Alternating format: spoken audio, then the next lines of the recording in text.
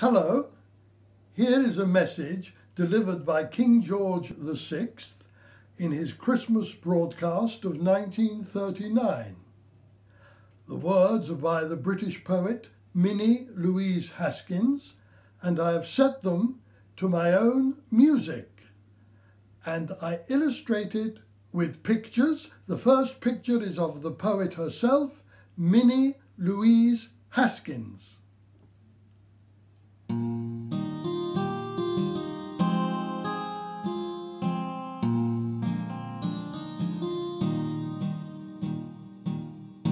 And I said to the man who stood at the gate of the year, Give me a light that I may tread safely into the unknown.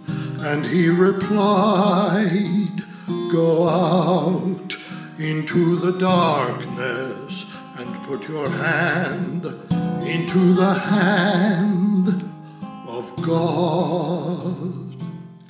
That shall be to you better than light and safer than a known way.